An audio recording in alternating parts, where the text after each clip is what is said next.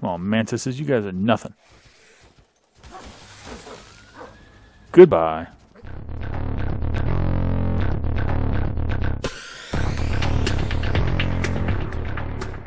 Howdy, folks, and welcome back to Ark Scorched Earth Adventures. Cortana says hi, too. We're going to head out uh, now, I think, on the horse with no name.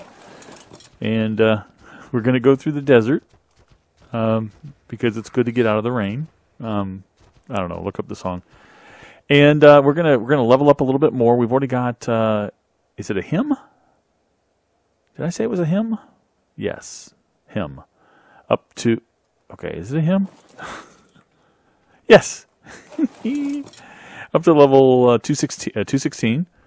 Um, 3200 health. I'm going to bump that up a bit more because I think we're going to be battling some, probably some death worms out there in the desert.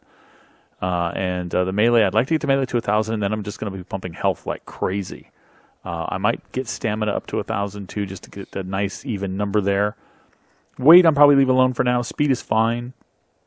And the rest of it, uh, obviously, not very, very relevant here. Oxygen and food, not terribly relevant. So that's what we're going to do on the way over there. We're probably going to get a few levels.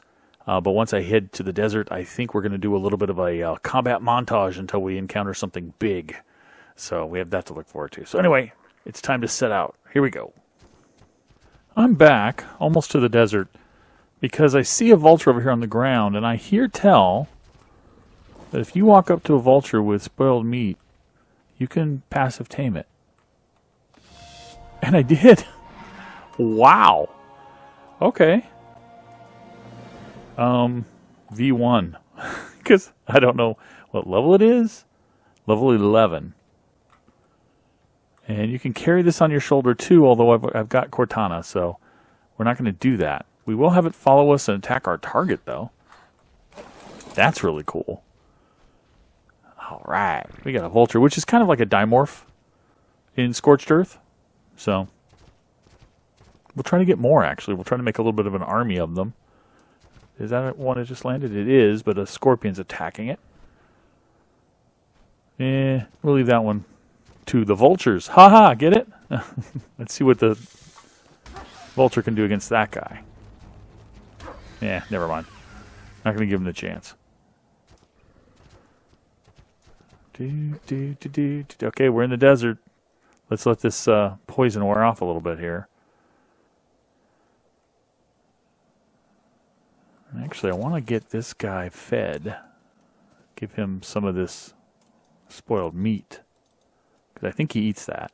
I don't know. Maybe he does. Maybe he doesn't. Mm, All right, which way do we go? Where are we on the map? We're straight up to the top. Let's head to the right. Let's go out and head to the right. See what we can see. Let's go. Can he keep up with us? Oh, he's pretty slow. Man. All right, that's what we want to do. Look at the look at the blurring effect of the heat of this desert. I want to kill one of these guys, one of these uh, mantises here. See what we can do. It's a low level. Pretty good. Pretty good. 721 chitin just from that. Wow, I don't really need to hide. I can get that anywhere. Right. Uh-oh. We're getting a warning. Oh, look at that. Look at all the stuff I'm getting. We're getting a warning of an impending storm. I don't know what kind of storm it is. I keep forgetting what the rattle is. When she rattles her tail, um, that's not the heat wave. I know that. The heat wave, she tries to dig into the ground.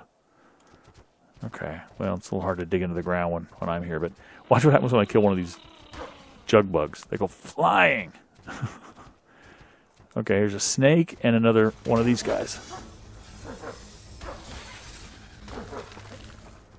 All right. Decomposes? What? What is this? Oh, wow. Drops little packs? Oh, that's cool. Although I don't I don't need a sword, primitive sword. What am I doing? It's even a really a primitive sword. Already got one. All right. I don't know if we're going to be able to carry all of this stuff home.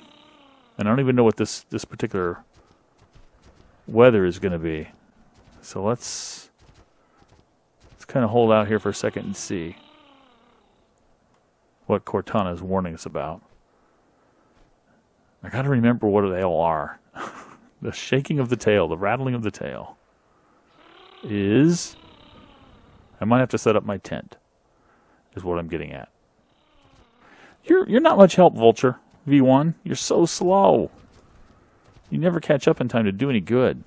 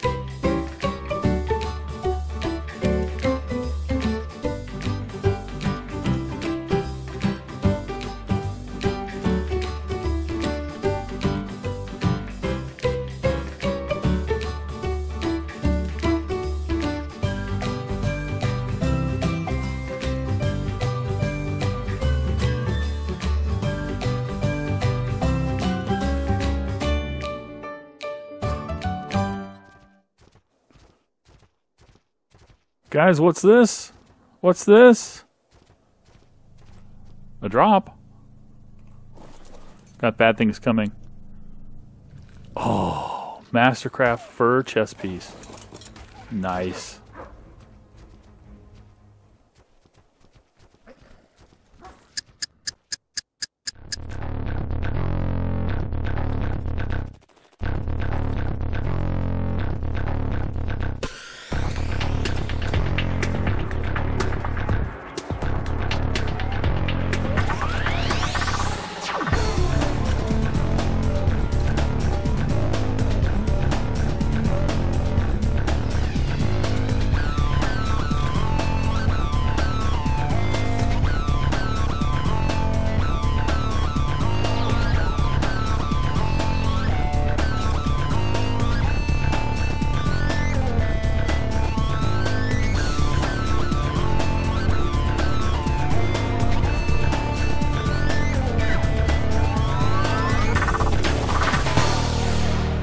Guys, I found this water here. I brought along a well I found in a drop. So we could put a well out here. Obviously you can get water without a well, but wells just make it so much better. Because they're easier to use and they come back so quickly and I can I can do this theoretically or not. I think I just filled up my, my well instead of getting my water back. Oh, it's all right. In the future, it'll be cool. All right, come at me, bro. Goodbye. Goodbye. Mantises are chumps. Chumps, I tell you. Oh, there's more of them.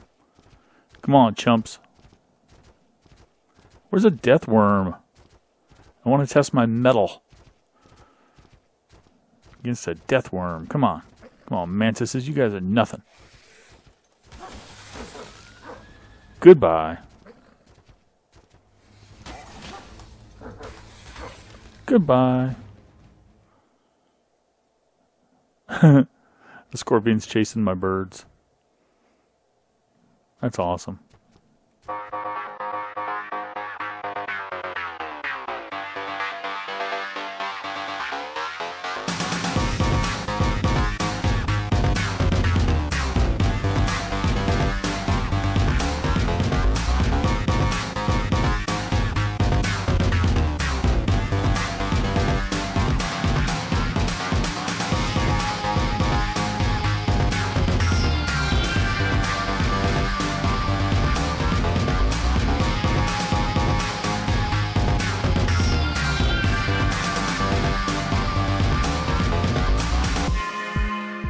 Okay, we made it back to base and repaired everything, got the levels up. I'll show you, you know, what we did with uh, with horse with no name, what level uh, he ended up at, and so forth. Now I've got that oil rig I picked up from one of the drops. I've got it in slot zero on my hot bar down there. I don't know if you can see it. And I've got an oil rig already set up over there. There's one oil spot. But I'm thinking maybe. Ooh, I know, I recall that there are a couple more oil slicks over. I think it's. Yeah, I think it's on the other side of this rock structure here. Now, there's also a wyvern that occasionally flies around here but I haven't seen it the last couple times I've been here, so it might have just moved on. What is down there? Is that a ruin? I mean, I don't think anybody's building there. That is the weirdest ruin I've seen. Oh, it looks from up above like it's it's it is kind of stepped up, but it looks like it's even more stepped up. Okay. Let's not get distracted. Head on over here on the far side of this rock structure, I recall seeing a couple more oil slicks. Um, I think I did. I think I did. yeah, wait a minute. Yeah, there they are. Those two oil slicks right down there. You see, that's it's like a, a bit of rock surrounded by black. So what we're going to do is we're going to set up one of these rigs. We'll set it up right here. Let's just go ahead and hit zero on our hotbar. Come down until we get a snap, and boom. Now that will slowly, like a like a, a tree sap tap, will slowly accrue or acquire or gather oil from the ground. Now I checked this other one that I installed yesterday. I checked it about ooh a few hours ago, and it had three thousand oil in it. Uh, in like less than a day, it, it had gathered three thousand oil. So we're going to go over here and we're going to check it again and see what it's got. Okay, we've landed. After killing a couple of high-level Carnos and some high-level Thorny Dragons, and having my Torpor finally coming down, we're able to check this guy. What do we have here? Another 492. Okay, well, after a couple of hours, it's gone to 492. That's not bad. So these are nice. The only problem with these is they're so far away. I wish they were closer. I have to fly all the way over here to check them. I don't know. I can't find any other oil deposits except the ones over here by, I think it's Green Tower. Green Tower, this region seems to have them. Nowhere else that I can find, at least. I'd love it if there was one closer over here by Blue Tower. So anyway, horse with no name, 5,000 health, over a 1,000 melee, level 223, doing great. Um, I would like to, with my fabricator here, I'm up to level, what now, 82. And uh, with my fabricator, I'd really like to construct a couple of things. One is a chemistry table, but I can't do that until I'm, or chemistry bench, whatever it is, until I'm 85. But I would like to get an industrial cooker going because I don't have any dyes at all, and I'd like to start dyeing things and painting things. That would be really cool. I'd rather not have to use a regular cooking pot. Um, in order to do that, I need more polymer. I could I could do it the old-fashioned way, no problem. Um, I'm making a ton of cementing paste. I'm going to need even more, uh, which I'm currently grinding right here uh, which is another reason why I want a chemistry set or chemistry set. I'll just call it a chemistry set uh, for uh, cementing paste because I'm gonna have to do it the old-fashioned way. No more beaver dam rating, and also for um, any more clay or that I'm going to use for Adobe. Um, so anyway, I need more polymer, and I think I think I, I, I have a technique that I want to de- deploy, employ. I want to take. She gets me there. I have the long names for my animals right now. She gets me there and fly horse with no name out to the desert instead of running out there. Just fly out to the desert, kill a whole bunch of uh, of mantises, and uh, collect the uh, organic polymer, and then come back and do this thing. But before I do that, that should be the last thing I do because that stuff does expire. I should double check that we're going to have everything else we need. We're going to have the cementing paste. It's it's crafting. The middle, I need 1800. So we're not going to have all of that. I'm going to need to bring down a whole bunch more metal. So what I'm going to do is, off camera, I'm not going to bother boring you guys, but I'm going to fly up.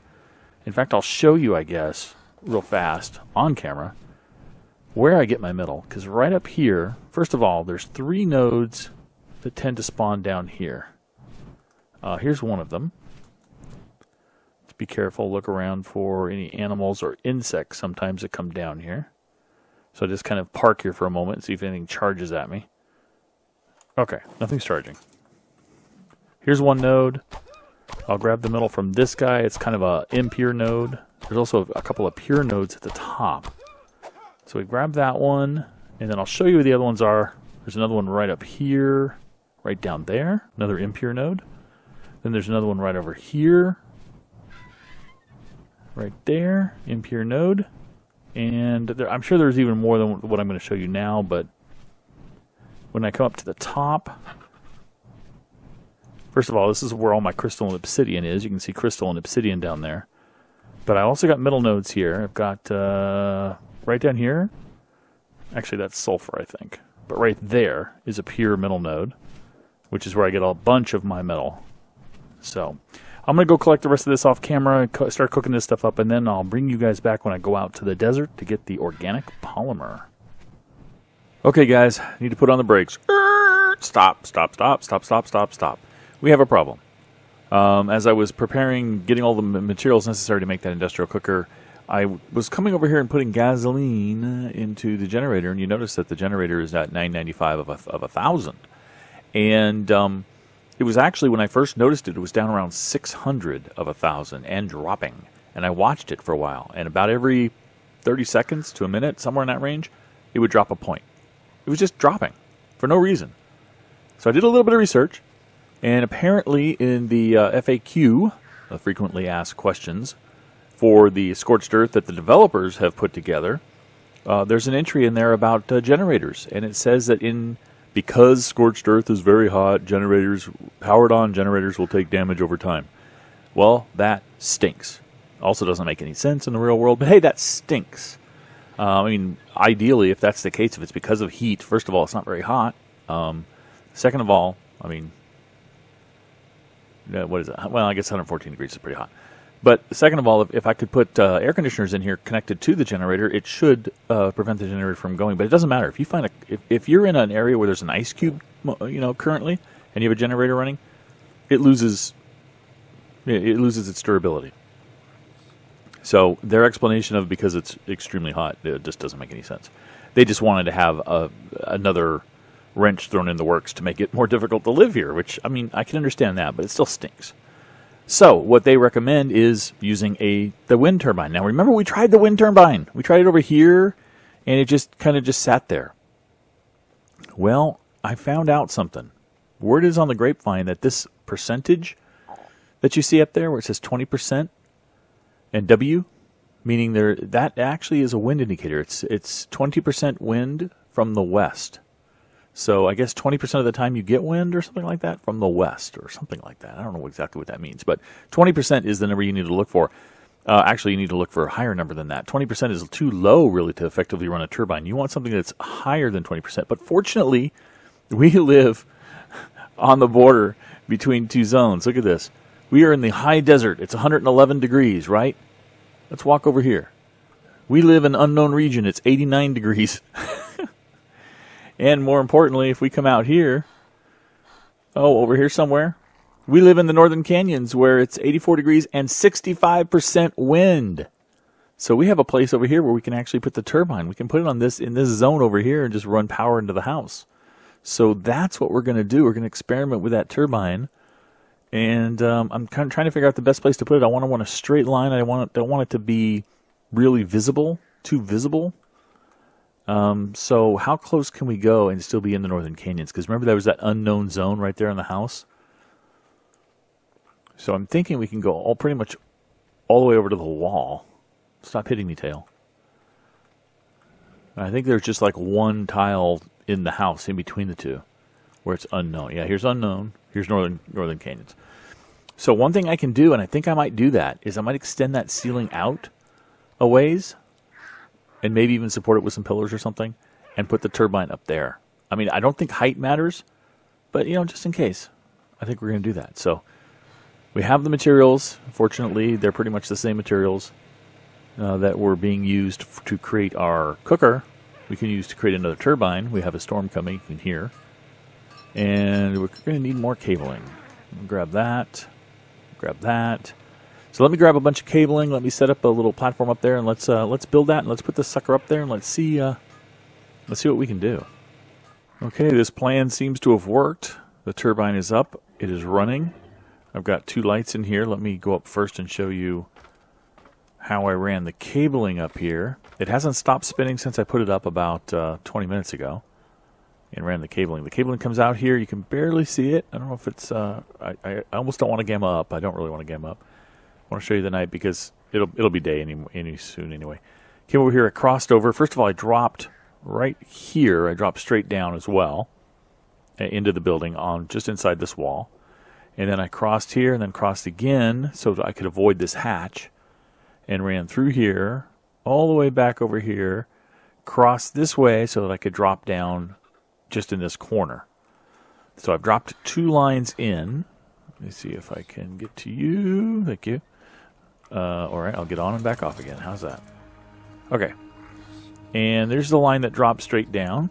And I put a box here. I, I, I could have gone one more, I think, maybe, and hidden that uh, junction box. I will try that and see if I can hide it in the foundation because the sparks are very annoying. Uh, the other one, I dropped down here, did the same thing, and I will also check, although the preserving bin is doing a good job of hiding those sparks. And it's also behind the refrigerator, so it's not bothering me that much. But I put two, went ahead and put two omnidirectional lights in here as well, which really lights up, as you saw, uh, the interior of the base uh, pretty well. So that's cool. I also added a, a, a doorway here just to quickly access this uh, storage, so I'll use this as my primary way to put fertilizer so I can come in and out real quick and grab fertilizer. Speaking of fertilizer, I went ahead and planted this stuff, and uh, we're already getting fruit or veggies or whatever uh, crops. There we go. We're getting crops. so we're doing great in here. By the way, uh, just a correction.